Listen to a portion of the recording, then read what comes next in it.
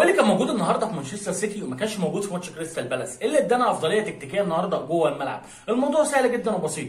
السرعة السرعة اللي بيتميز بيها فيل فودن السرعة بتاع الخفة بتاعت فيل فودن وسرعة حركة فيل فودن وسرعة نقل فيل فودن للكورة فرقت ناحية الشمال عن البرود والهدوء اللي كانوا موجودين قبل كده عند جاك جريليتش جابريل جيسوس وكايل ووكر وبرناردو سيلفا عملوا ماتش جميل جدا. عملوا ماتش جميل جدا عشان خاطر انت بتلعب ناحية مانشستر يونايتد الشمال اللي فيها لوك شو. لوك شو دايما عنده مشاكل دفاعية كتير. لوك شو دايما عنده أزمات دفاعية كتير. فلوك شو اعتمد دايما على إن انت تاخد من وراه. وده اللي كان بيحاول يعمله برناردو سيلفا في أغلب الأوقات. فبرناردو سيلفا قدر إن هو يستغل واحدة اللي سجل فيها الهدف الثاني غير إن برناردو سيلفا بيقدم ماتشات مميزة جدا. حتى في عز مانشستر يونايتد مقفل نص الملعب بخمسة. مفترض إن يونايتد قافل النص ويونايتد عامل حواجز كتير بس الموضوع بالنسبة لبرناردو سيلفا كان بيخش يعدي واحد على واحد واحد على اثنين وأوقات كان بيعدي واحد على ثلاثة علشان خاطر مانشستر يونايتد كان داخل المباراه هو عنده فكرة غريبة جدا اللي هي فكرة إن إحنا يا جماعة هنلعب 3 5 2 3 5 2 هنعتمد فيها على المرتدات كريستيانو رونالدو وميسن جرينوود وهنعتمد فيها إن كده كده جو كانسيلو هيزيد وإحنا نلعب ورا جو كانسيلو. بس المشكلة إن مانشستر يونايتد ما لحقش مانشستر يونايتد في عز ما هو كان بيفكر يعمل كده لبس الهدف الأول عن طريق إيريك بايلي. يسكت بقى ويقرر إن هو يغير الطريقة بتاعته ويقرر إن هو يخش في ال game ويحاول يمسك الكره في نص الملعب ويحاول إن هو يقلب الطريقة ل 4 2 3 1 لا قرر إن هو يكمل زي ما هو ماشي. زي ما هو ماشي دي أنت بتعتمد على قوة خط الدفاع بتاعك وبتعتمد على تصديات ديفيد دخيا تصديات ديفيد دخيا النهارده كانت عالية وكانت نسبة عالية لديفيد دخيا في التصدي. ديفيد دخيا عمل واحدة من أجمل الماتشات بتاعته. ديفيد دخيا تصدى الكور كتير جدا الشوط الأول. لولا تواجد ديفيد دخيا كان ممكن الفرقة تشيل 3 و4 الشوط الأول. هتقول لي ما الهدف الثاني منه؟ أقول لك الكرة صعبة. الكرة صعبة لأن الكرة ما عليتش المستوى إن دافيد دخيا يمسكها. الكرة نزلت لمستوى إن هي خبطت في بطن دافيد دخيا وجت جول فالموضوع كان صعب جدا بالنسبة للهدف الثاني دافيد دخيا يقدر يطلعها.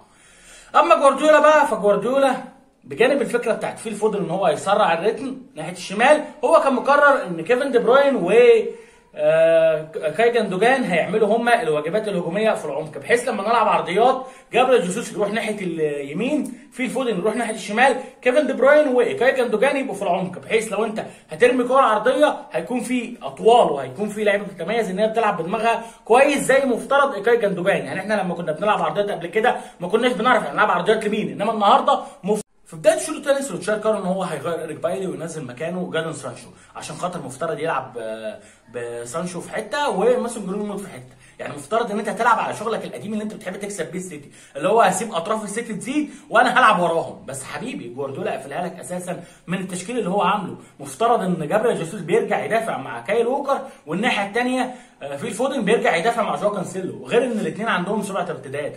جو كانسيلو عنده سرعة ارتداد وكايل ووكر عنده سرعة ارتداد. هم دلوقتي المساحات اللي أنت كنت بتحاول تلعب عليها خلاص اتقفلت ما بقتش موجودة. يعني حالة التغيير بتاعك إن أنت مفترض إنك منزل لعيبة علشان خاطر تغير طريقة اللعب. خلاص الموضوع بالنسبة لك ضايع. غير إنك مش ماسك كورة في نص الملعب وفريد في الماتشات الكبيرة بيكون ضايع. فأنت قررت إن أنت تسخن دوني فان بيك من أول الشوط الثاني لحد الدقيقة 75 عشان خاطر تغيره.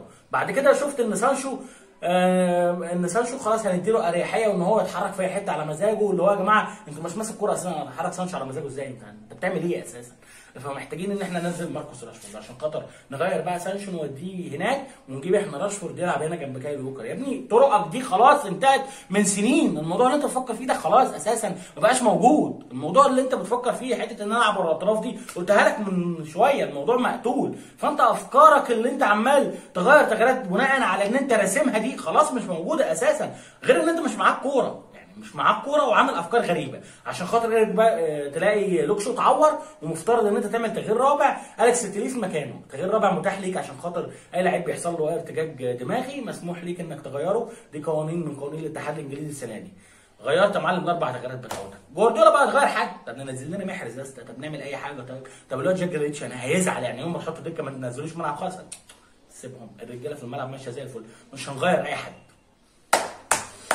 والله. والله عاش حتى اللحظات اللي مانشستر يونايتد كان خطير فيها هي اللحظات الأخيرة اللي يونايتد قرر إن هو يرفع عرضيه يعني أنا كنت عمال أكتب أين أنت يا رونالدو؟ إني لا أراك. أين أنت يا رونالدو؟ إني لا اراك لا أراك. عشان خاطر ألاقي شوية عرضيات. واستر يا رب ربنا يستر. يعني أنا واحد عمال يقول بقى مش عايزين نشوفه مش عايزين نشوفه. ونيجي إحنا اللي محضرينه لا يا عم نقفل على كده والحمد لله تعدي على خير ونطلع بال clean sheet اللي إحنا نفسنا نطلع فيها من سنين دي. والحمد لله خلصنا الماتش على خير ونسخة مكرره من ماتشات مانشستر يونايتد مانشستر سيتي. إحنا بقى لنا سنتين على الوضع ده. يكسبونا اثنين نكسبهم اثنين يكسبونا اثنين سوا إحنا قاعدين مع بعض هنا في موضوع ال 2 0 ده من سنتين سعادتك. فانت لو لسه لو لسه جاي لنا جديد من fans كريستيانو رونالدو فاهلا بيك عزيزي في مرحلة ال 2 0 بتاع ديربي مانشستر دي. لو عجبك الفيديو اعمل like. لو ما عجبكش اعمل subscribe.